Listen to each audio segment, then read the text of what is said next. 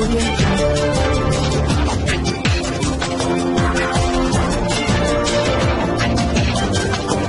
भारत केवल खबरें और कुछ। नमस्कार मैं हूँ अंजलि। आरपी भारत में आपका स्वागत करती हूँ। तो चलिए शुरुआत करते हैं आज की किसी प्रमुख खबर से। बालुआत प्रखंड से होकर गुजरने वाली चतरा रांची एनएच निन्यानवे सड़क गड्ढे में तब्दील हो चुकी है। आए दिन दुर्घटनाएँ हो रही है, लेकिन उसके बाद भी जर्जर सड़क की मरम्मत को लेकर अधिकारी संवेदनशील नहीं है।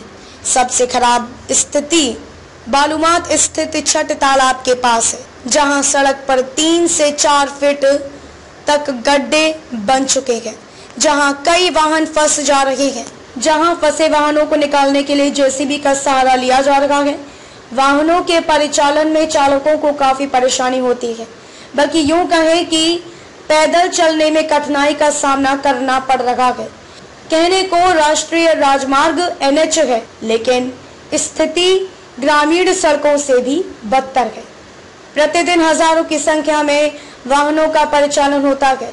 लोग जान को जोखिम में डालकर यात्रा कर रहे हैं। कोयला एवं दूसरे सामान की ढुलाई देश के कई राज्यों में होती है। सरकार को लाखों रुपए का राजस्व मिल रहा है। फिर भी सड़क की ऐसी बदहाली, जिस पर पैदल सफ़र करना भी खतरे से खाली नहीं है। एन एच है, जो काफ़ी परेशानी झेलना पड़ रहा है पब्लिक को। ये रोड जो है बहुत पहले से खराब हो चुका है। गाड़ी यहाँ पे लगा के धोया जाता है, जिससे और रोड खराब हो जा रहा है।